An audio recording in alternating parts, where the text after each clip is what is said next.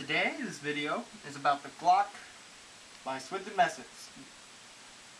Smith and Wesson. I don't know why I keep on doing that, but still, it's like a tongue twister. Smith and Wesson. Say it ten times fast.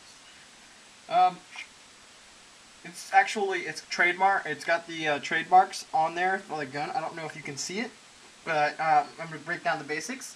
The metal parts of the gun are internals, the bolt, and the barrel, along with the bolt release and the slide release, and this metal thingamajigget right here. This is plastic. The, the slide is plastic. The grip is plastic. The trigger guard is plastic with like a metal thingy right in front of it. Underneath here, there was some metal thing. I guess it's for mounting a rail if you want to. Um, and, oh yeah, the magazine is uh, metal. And the uh, safety, which is right here, is plastic. Easy to break off, just to let you know. Those of you who do not like safeties and want to take it out on you, if you get angry and want to take it out on your safety, good idea too. yeah.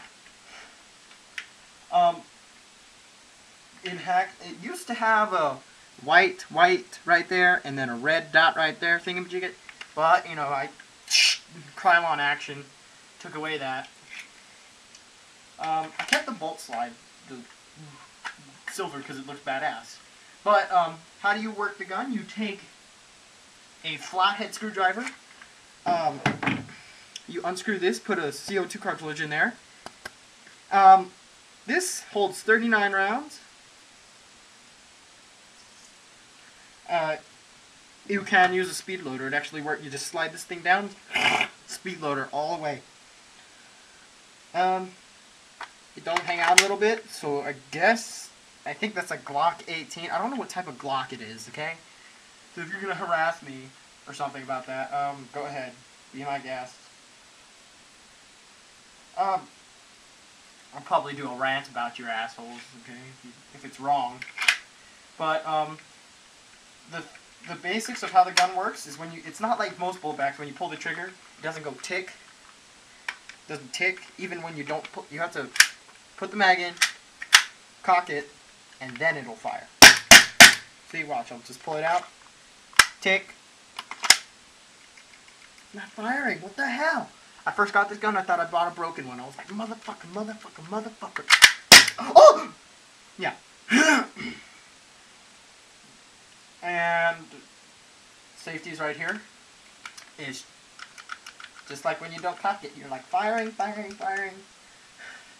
And just to let you know, those CO2 cartridges hold a shitload of gas. Okay, one time it jammed back and I was like, and I went like this,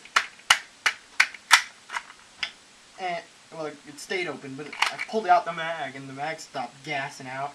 I was like, shit, I ain't gonna last much longer on here, so put it back in. I was like, all right. I was lasting the whole. I lasted the whole game. I was amazed. Okay, so back onto the gun.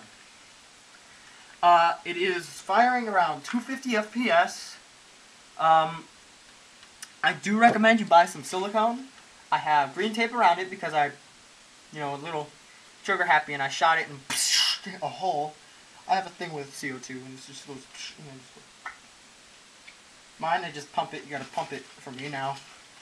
But you just spray it in there spray in the internals, which are metal. I don't know if I recommend it, but still. And you just go out the game and you just go Matrix and shit like that. Whatever you want to do. Unless you have a Desert Eagle, then you're Mr. the Agent dude from, okay, whatever. But, the review, overall review of the gun is that I like it. It fires pretty straight. I mean, there's no hop up. I don't think there is a hop up. Yeah, there's no hop up. Unless this is the hop up, which is a pretty bad place for a hop up. Um, and it fires really great. Like, I actually did a couple of role playing and I have some, like, Matrix 2 like. Yeah. Mr. Neo. But, that is my review of the Smith & Wesson Glock Whatchamanigget, um, by Smith & Wesson. Uh, airsoft guns,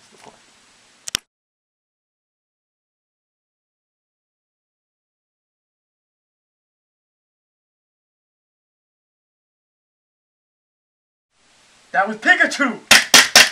Good, good, good, good, good, good, good, good, good, good. Pikachu got pegged in the face with a Pokeball. Good, good, good,